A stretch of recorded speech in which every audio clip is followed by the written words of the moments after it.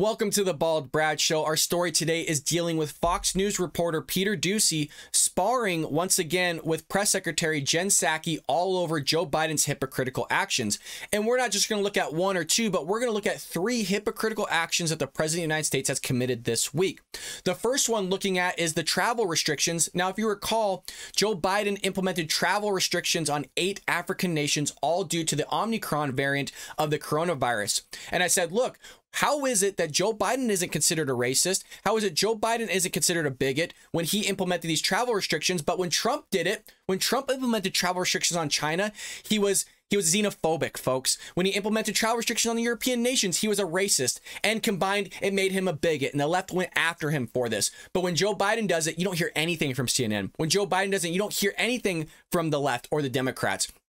It's only when Republicans commit things that all of a sudden they're racist, bigots, sexist, homophobes, and all these other things. And it's not just the travel restrictions. Joe Biden was also caught not wearing a mask indoors while shopping when clearly there were signs posted that says if you're going to shop indoors, you must wear a mask. But again, Joe Biden's holier than thou. He's above the rest of us. So all of us have to be masked up, but Joe Biden and the Democrats don't have to be masked up themselves. You don't have to look any further than, than uh, Gavin Newsom here in California eating at a nice restaurant not wearing a mask, but all of us can't go to a restaurant. All of us can't eat indoors. You also had Nancy Pelosi going and getting her hair done when all of us can't go get our hair done, but she can. So it's consistently by these Democrats, it's consistently by these politicians that they're better than the rest of us. They don't have to follow the same rules they impose upon us because they're greater than the rest of us, folks. And again, it's not just that.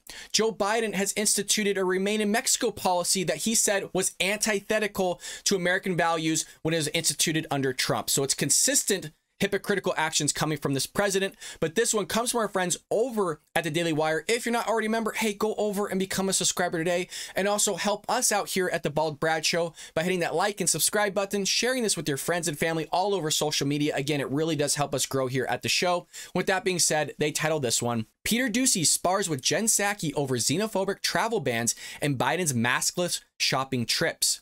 They start off saying Fox News White House correspondent Peter Doocy sparred with press secretary Jen Psaki during Monday's briefing, asking pointed questions about newly implemented travel restrictions and President Joe Biden's massless shopping spree over the Thanksgiving holiday. Let's see a little bit of what that looked like. Before Joe Biden was president, he said that COVID travel restrictions on foreign countries were hysterical xenophobia and fear mongering. So, what changed?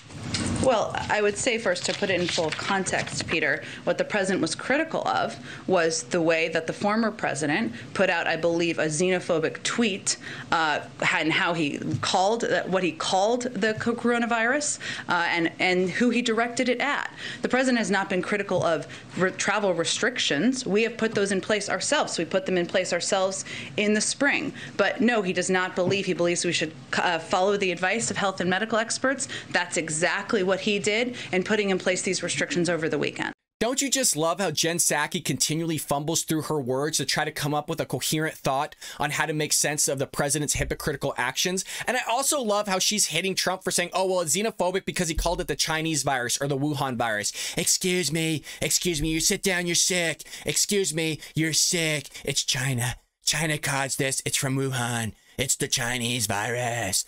Right? it's not the best Trump impression, but we all missed the guy.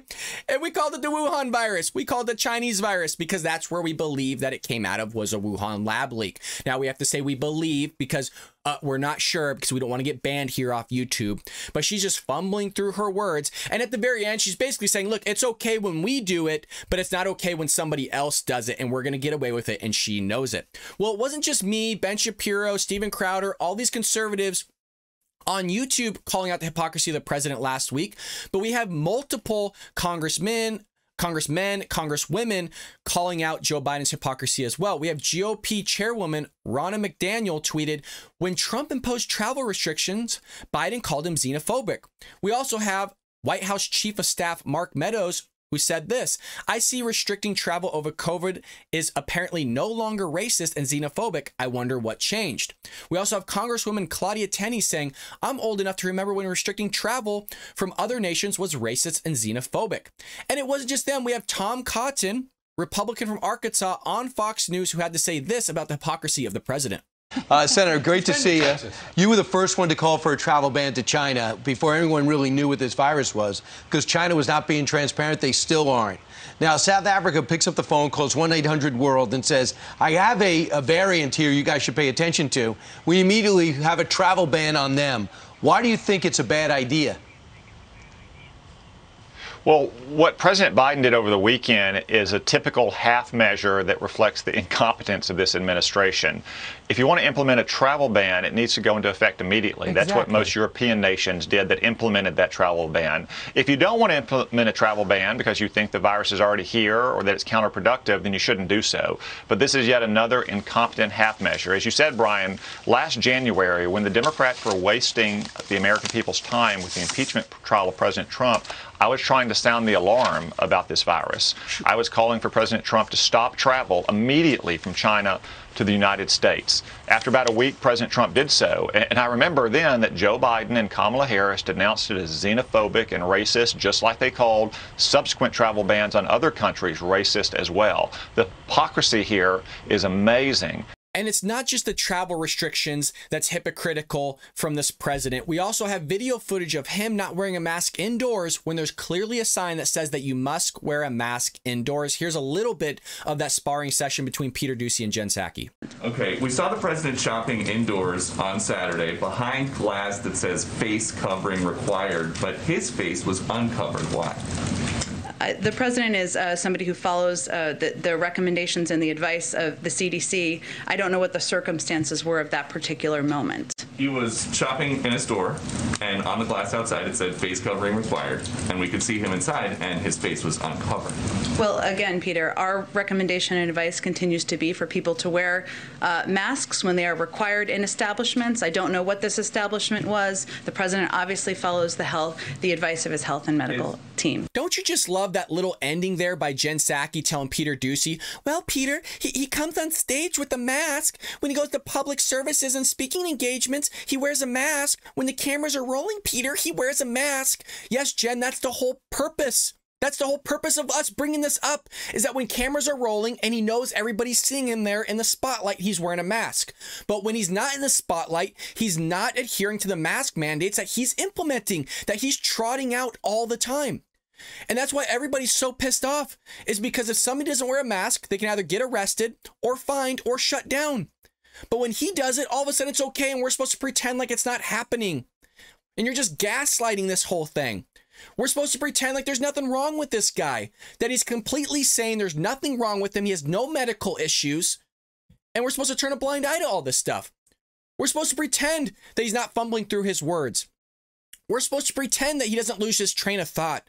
We're supposed to pretend that he's just a stellar human being that's not hypocritical, that's not making mistakes, that doesn't know how to run the country. We're supposed to just, again, look the other way, folks. None of this is happening. Everything's okay. And it's not just the mask mandates. We have here the exchange concluded with a question from Peter Doocy about the return of the Remain in Mexico policy, which requires applicants to wait in Mexico for their asylum claims to be processed and Biden's claim that it was antithetical to what America stands for. Psaki said that Biden still feels that way about the policy, but was forced to comply with a recent court ruling. When has that ever stopped him before? There are court rulings out there that he's not abiding by. There's things that he just X'd out and said, eh, we're not going to do it anymore. So there's plenty of policies that Joe Biden can uh, basically overrule and not go forward. I don't know if that's exactly one of these. I like the fact that the Remain in Mexico thing's put back in place because we have a whole crap ton of stuff going on with the immigration issue at the US Mexico border. And quite frankly, I think that's why Biden administration implemented it because they're seeing that the policies that were put in place the policy under the Trump administration was working.